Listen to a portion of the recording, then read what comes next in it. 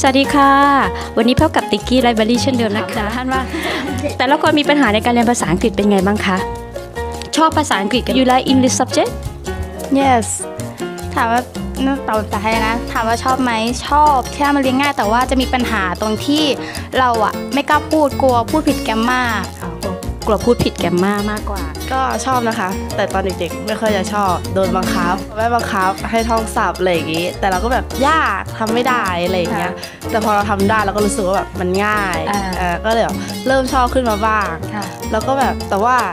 ส่วนส่วนใหญ่เขาจะกลัวในการที่จะพูดออกมามากกว่าว่าแบบ เออ จะพูดออกมาได้ไหมถูกไหม grammar conversation อะไรอย่างเงี้ยค่ะมีปัญหาเรื่องการเรียนภาษาอังกฤษไหมมีค่ะอาทิเช่น เอ่อไม่ไม่ค่อยชอบเรียนกับ teacher ทำไมล่ะ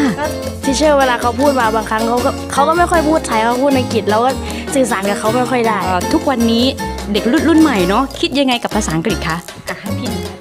เออก็ก็คิดว่าภาษาอังกฤษก็สำคัญเพราะว่าปัจจุบันมันก็มีการใช้ภาษาอังกฤษในการสื่อสารมากขึ้น เพเพราะราะว่าวันนี้ภาษาอังกฤษเนี่ยมีส่วนสำคัญในการขับเคลื่อนพัฒนาเศรษฐกิจเราปะ มีนะคะ มีเยอะเลยเพราะว่าแบบ เหมือนประเทศไทยเราอะเริ่มเข้าสู่เศรษฐกิจโลกมากขึ้นทำให้เราจะต้องแบบ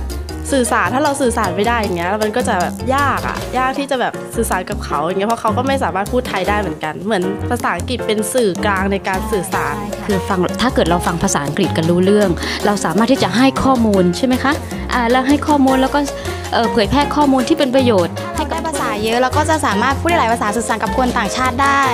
อาจจะไม่ต้องเป็นภาษาอังกฤษเป็นภาษาที่ตัวเองชอบ ในความที่รู้สึกว่าเออเราอยากเรียนจะทำให้เราตั้งใจอยากเรียนมากขึ้นค่ะ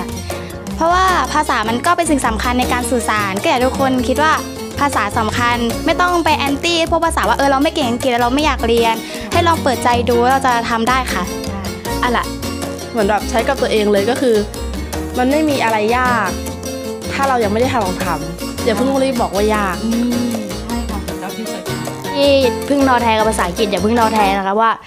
การที่เราได้สื่อสารกับนักเรียนแลกเปลี่ยนโรงเรียนเรา ก็ทำให้เราแลกเปลี่ยนวัฒนธรรมและภาษาได้มากขึ้น เขาจะเข้าใจไหมคือฝรั่งเขาเข้าใจเพราะเป็นภาษาเขาอะค่ะ บางทีเราจะเอาคำหน้าสลับคำหลังเขาก็พยายาม